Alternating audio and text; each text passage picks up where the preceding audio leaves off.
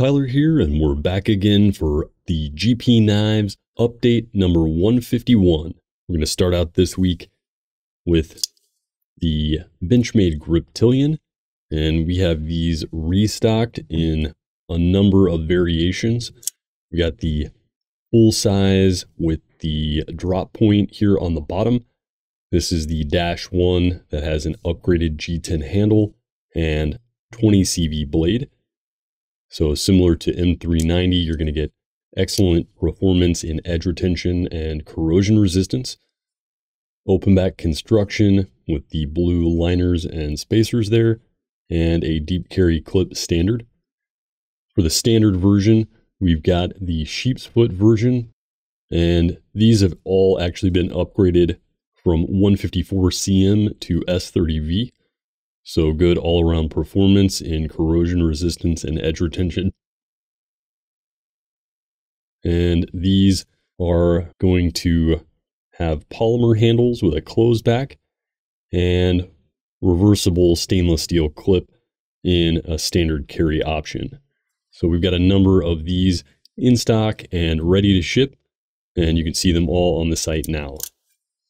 Next up, we have the Justin Lundquist designed OSS dagger from WE Knives.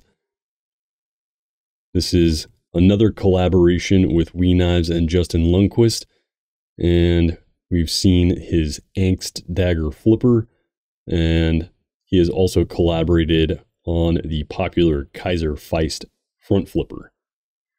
We've got a 20 CV blade on here, and these are available in either the black stonewashed you see here or a standard stonewash. The black comes with the black G10 inlaid scale, and the innovative design makes for a very thin profile for secure carry. And you've got his sort of iconic thumb traction ramp there. Comes with a nice Kydex sheath for secure carry. And then we have a dots lock for belt carry. And it also comes with a stainless ball chain. So lots of carry options there. Double edge chisel grind, so durable as well as very sharp. And of course, a fine piercing point on this concealable dagger. Another knife from WE Knives, we have the Banter, and this is just a new variation on this design. We've got two new variations actually. We've got the gray stonewashed with OD green G10 here. And then there's also a satin blade with gray G10. Great compact EDC folder. It's got a nice tall blade in S35. Again, good balance performance, a little upgrade in toughness from S30. A ball bearing pivot gives a snappy deployment via either of the dual thumb studs there. You got an inset liner, deep carry clip, and both of those are set up for right hand use. And we've got tip up only carry on that. So just a great all around design there from WE Knives. And for some more budget friendly offerings, we have a few knives from Civivi. We have several variations of the Badlands Vagabond that you see here. It's got a similar handle design as their previous Ortis. You've got a long clip point blade, and this one comes in their stainless Damascus. So this has a stainless steel core with stainless Damascus cladding, a nice high hollow grind with a thin edge. It's going to give excellent slicing performance. You got dual thumb studs or an index flipper for deployment options. And of course, a ball bearing pivot there for snappy deployment. You've got subtly contoured and textured carbon fiber on the handles here. You've got a smooth bolstered area and then textured scales on there, although they are all one piece. Black stainless steel liners are skeletonized, inline lanyard pin, and then we've got a reversible stainless steel deep carry clip for tip up only carry. And then the standard stainless models are going to have a polymer handle scale and just your standard stainless blade. Next up from Civivi, we have the Brazen. Kind of a larger tactical design. We've got a Tanto blade of D2. We've got a few variations of this. Purple G10 on this one with a gray stonewash. We've also got a red or burgundy G10 with a stonewash black. Again, you've got the dual thumb studs and index flipper, skeletonized stainless liners, and reversible clip. This one has a matching backspacer with lanyard attachment point, and of course, a very snappy deployment on the ball bearing pivot. We've got a high saber grind on this with that flat ground tip. So a nice sturdy blade there while still being thin for good slicing performance. And then we have the limited Fornix from WE here. Two variations of this. We've got a gray and a black stonewash. Harpoon profile blade of CPM 20 CV. And you're going to have matching blade and handle finishes on each knife. And these are limited to 410 pieces worldwide. Titanium frame lock construction. Of course, a nice snappy deployment via the flipper or blade hole on ceramic bearing pivot. Nice chamfers on the handle. Very sleek design and relatively lightweight for an all-tie construction.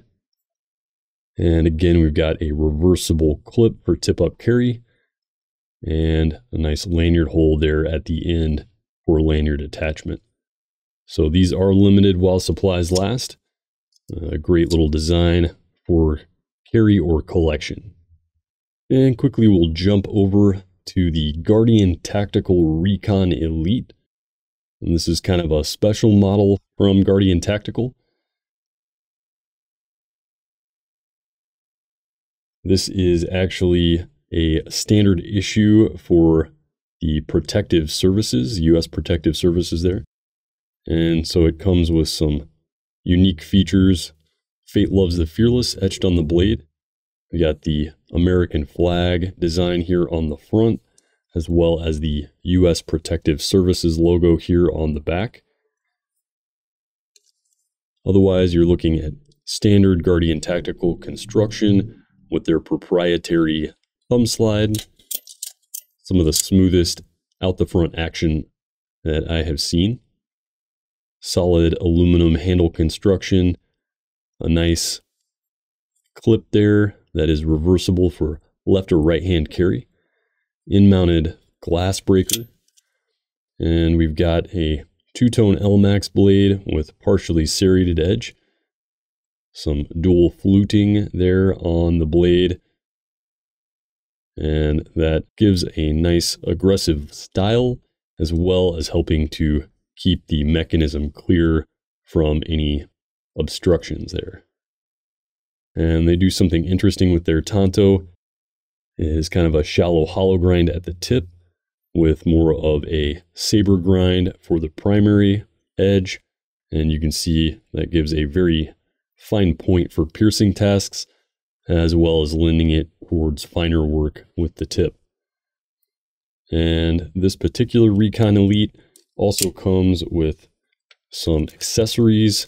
We've got a challenge coin, US Protective Services patch, and matching sticker there. So nice little set to go along with that knife.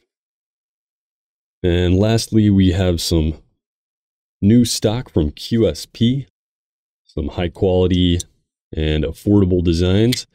We've got the Gannet, a nice front flipper design, sort of a gentleman's tactical option here. We've got a large clip point blade with a hand rubbed satin finish made from 154 cm. Carbon fiber bolsters on this one with stainless liners. You've got a half length backspacer there Canvas micarta handle scales, a nice full handle design as you can see. One position deep carry clip for right hand tip up. And of course it's got a right hand operated liner lock there. You can see it's got a nice snappy deployment with that front flipper and it also can be operated in a slow manner as well. And we have this in a few different variations with different colored bolsters and handle scales. And one of my favorite designs from QSP is the Hawk here, a nice classic drop point. We have this in a stainless Damascus and carbon fiber. So if you want to dress that up, this is a great option. Again, single position, right hand tip up only deep carry clip, stainless liner construction. We've got dual thumb studs and index flipper for deployment. This is a nice mid-size EDC. We got that thumb ramp with some jimping, little jimping on the flipper and on the liner as well for solid traction in use. And we've got a few different variations in stock of the Hawk. We've got a Verawood with S35VN here. So if you want a bit of an upgrade in performance while still having a nice stylish look, the S35VN blades come with a two-tone satin, so you can see vertical on the grinds, horizontal on the flats. Construction is going to be the same. And we've got the Verawood in both S35 and Damascus. And then here I've got the Damascus with what they call a shred carbon fiber, sort of more of a marbled look. Again, you get the same overall design as the other one. So this is their standard carbon fiber on the right and what they call a shred carbon fiber on the left. And we have these in both the Damascus and the S35VN blade steel. And finally, if you just want a hard working knife that feels great in the hand and won't set you back too much. The Penguin from QSP is an excellent choice. You've got a stout sheep's foot style blade with a satin finish made from D2 tool steel, dual thumb studs, and copper washers for deployment. Nice smooth operation on there. And we have these in a few different models. In terms of handle scale options, we've got the red canvas micarta here, which is kind of a standout, something you don't see too often. Same stainless liner construction as the others. This one does have a reversible clip for left or right hand carry. And a few other standout favorites for me. We've got the denim micarta here. And this one has a nice feel in the hand. And we've also got some brass scale options and we have those in the satin and then also in a black stonewash blade. So this one's going to be quite a bit heavier with the brass scales, but it gives a nice heft in the hand and has a great look and feel as well. So you can check out all of these models as well as the rest of the QSP line linked below in the description. Again, this is Tyler with your GP Knives update number 151.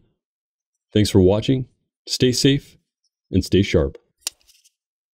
If you like what you've seen today and you'd like to see more, follow us on social media via the links in the description, subscribe to our channel and like the video below, and follow us for updates on all new products and releases.